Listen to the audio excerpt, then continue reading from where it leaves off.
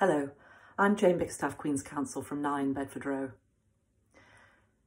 The first female silks were appointed in 1949. There were two of them, Rose Heilbron and Helena Normanton. Over the next 20 years, there were only another two women appointed as silk. And indeed, by 1987, 38 years after the first appointment, there were still only 28 female silks, the 29th being the daughter of Rose Heilbron, the first woman to be appointed. Well, we've come a long way since then. These days, approximately 50% of those called to the bar are women. 33% of the practicing bar are women. Approximately 50% of all solicitors are women. And indeed, so far as solicitors are concerned, in the, un, in the age bracket of those under 45, 59% of those practicing are women. It's in the older age categories that women are much less well represented, which of course is the historical effects playing out of the under recruitment and under representation from decades gone by. When I took silk in 2012, 33 out of 88 silks appointed were women. This year in January 2020, there were 30 out of 114 silks appointed. It doesn't seem very many, but actually in 2012, uh, as in 2020, it represented approximately a 60% success rate of those who applied. Because this year, uh, the 2019 competition, so those who were um, appointed in January this year, there were only 52 female applicants. So 30 out of 52 applicants were successful. What this, I think, shows us is that women are not applying to become silk in the same numbers as men. And so I thought I would take just a few minutes um, by way of encouragement now, uh, whilst we're all sitting at home with a little more time on our hands. Although for those of you trying to home educate and entertain children, you have probably never felt like you've had less time on your hands. So perhaps I should say, while we're all taking a pause from our normal routine and so perhaps have a little time for reflection and contemplation upon the direction of our careers and where we would like them to go. As you will all very well know, um, applications for silk are now um, governed by the QC Appointments Commission, which is an independent body. And of course, all the information is readily available online about that. So all I need say, I think, is this.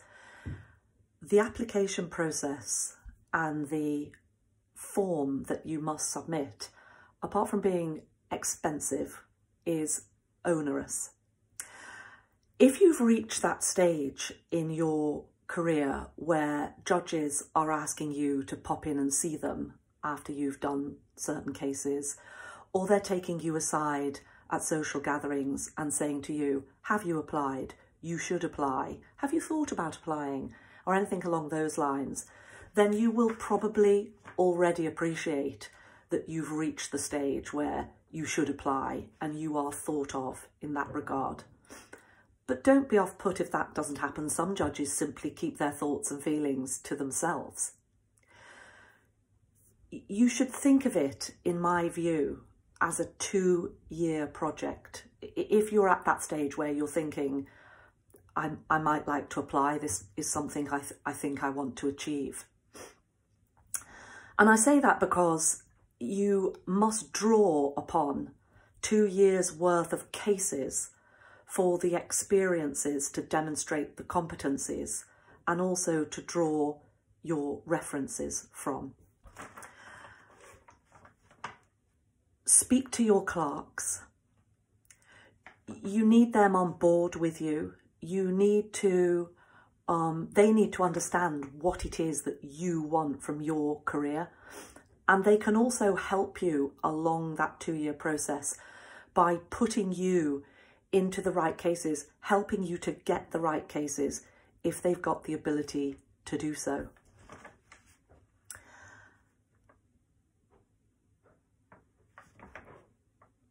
Most importantly, I would say, is to have confidence in your own abilities.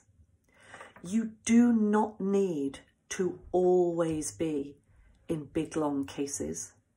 You do not need to be in high profile cases.